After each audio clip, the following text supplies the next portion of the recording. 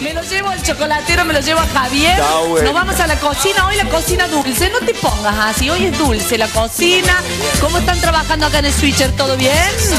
Sí, vamos transitando, entrando. Hola, Marcos. Estamos entrando al estudio central de Índigo Contenido. Ya está acá nuestro mini gym calor, poner en movimiento el cuerpo. Así que prepárate, anda buscando la colchoneta debajo de la cama. Y ahora llegamos a la cocina con él.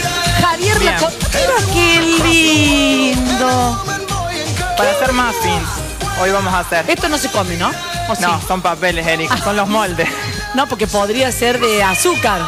Prueba uno, No, no. a ver qué tal. Dale. Bueno, así que vamos a hacer muffin. Qué Sí. lindo. Esto también está bueno para hacer con los chicos en casa. Nosotros tenemos dos cosas. Cuando nosotros tenemos el muffin sin decorar, se llama muffin. Cuando está decorado, se llama cupcake. Nosotros vamos a ¿Por qué cambia el, el nombre? Porque está decorado. Es una tendencia nueva ahora, al- algo que se usa ahora. A ver, muffin es el bizcochuelito. La Magdalena, La Magdalena. la que comprábamos antes. Muffin. Ah, dame un muffin sin decorar. Sí. Ahora, si ya es decor cupcake. Cupcake cuando es decorado. Pero mira, yo le ponen cremas, le ponen chocolates, confites. Todos saben, yo siempre me estoy enterando. Soy la última. Hoy vamos a hacer dos recetas. Vamos a hacer uno de vainilla, que le llaman princesitas a eso. Que lo vamos a rellenar con unos bombones de chocolate. Adentro va relleno. Adentro del muffin va a ir. Ah, qué rico. Quedan riquísimos.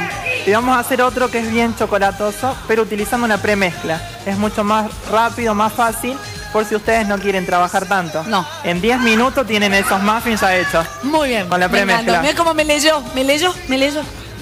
Empecemos Miren, acá tenemos los materiales. Son re poquitos materiales lo que vamos a usar. Como siempre, este es un batido de manteca. Vamos a colocar manteca. ¿Vos me vas a ayudar hoy? O como la otra vez que me dijiste no. Sí, no me queda otra. Escucha, Javi, batido de manteca, ¿ya está batida esa manteca o hay que No, batirla? esta manteca está blanda. Ven Ah. que yo trabajo con un batidor Ah, sí, sí, y sí. se desintegra. Qué lindo esto, che. Sí. Unos Qué hermoso. individuales. Me encanta. ¿Hay muchos de estos tenés o no? Tengo varios. Tengo de Marilyn también. ¿A vos te gusta? Sí, me encanta Marilyn Monroe. Bueno, la próxima te traigo un Una genia. individual de Marilyn. ¿En serio? Sí. Buenísimo. ¿Me lo puedo llevar a mi casa? Sí, te lo llevas. no, mentira.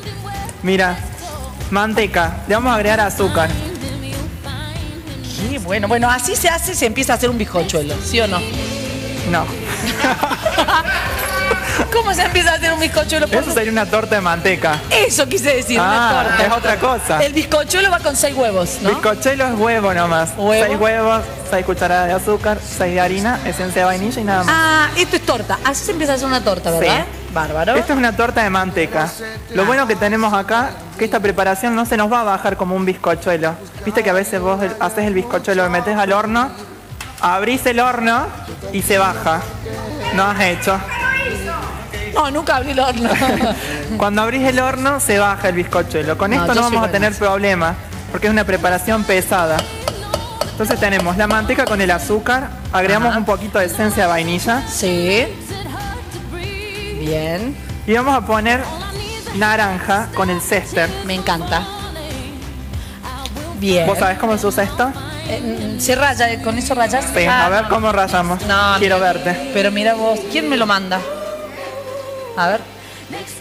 No, hacelo vos. El que sabe, sabe. Es así. Ah, mira qué bien. Genial.